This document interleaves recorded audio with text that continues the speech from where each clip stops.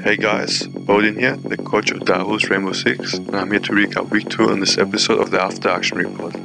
Let's get into it. Our second match in Stage 3 of APAC South was against QConfirm. Our previous matchups with QConfirm in Stage 1 and Stage 2 left us with that one-on-one scoreline between us, so of course we wanted to win this matchup. We jumped into the match and quickly went up 6 rounds to 1 as QConfirm began to slowly inch it back in their defense rounds. We fortunately put a stop to that in round 10. I like this, causing a bit of chaos really early on. Minute 30 is going to allow Direwolves to push in. You can see multiple members now finding either cocktail bar or pushing into cigar balcony.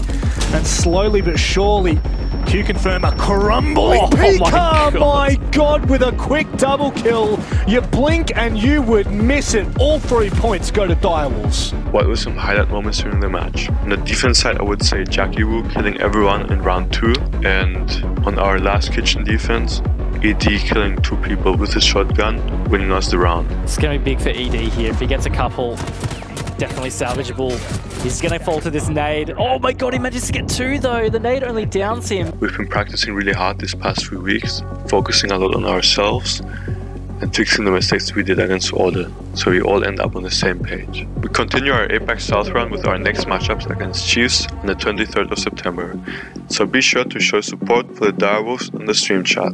Jumping over to the Taiwan League, we had a triple header against Velocity 9, Shepherd, and King in the North. In our first match against Velocity 9, we wanted to continue our positive win rate against the team, as past results have been closer than most teams we come across in the Taiwan League. After the pick and bans, we ended up playing Cafe. Both our defense and attacks proved hard to combat as we took the match 7-0 over Velocity 9. I think when playing such a strong team and winning 7-0 every single round is an actual highlight. But my favorite moment was ED killing two players while playing his freezer position in our kitchen defense.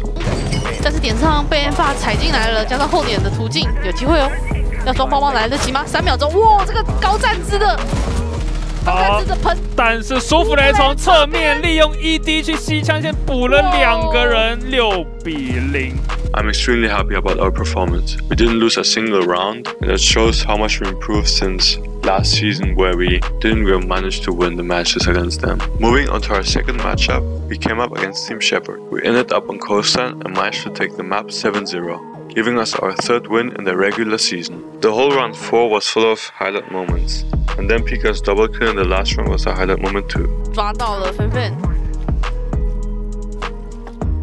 女武神这边倒下之后，不太清楚他的暗眼的位置放在哪里。b o k i w i z 这边 有打掉包之后，但是皮卡这边继续不断的架。枪。能看到大夫现在少人的情况下，目前看到皮卡一直不断的抓到人头之后，利用这个闪光弹配上一万滴，舒芙直接进来装包再穿掉一而且这个个位置刚好看不到下包的地方。这时候舒芙蕾再收掉焰，哇，人瞎！Ray，皮卡直接开出开开出了眼镜来卡点，再点一个。漂亮，这两个直接谁说我白给 Our final match of the week against King in the North wasn't any different from our previous two. We proved too strong against the North squad and walked away with a win 7-2 on Oregon.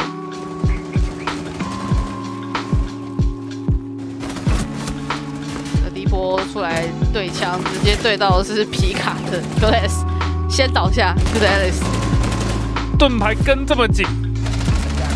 来大哇哎互换的炮互换哇哦，ED 这样有办法反手击杀对方因为的一换一。 ED 是爆头， I'm a little bit sad that we didn't win 7-0, but at the end we still got the 3 points, so I'm still happy with the results. We are feeling great that we finally got some big wins as the Wolves. As I said before, we are ready to win every single match this week and hopefully on a even more convincing way than last week.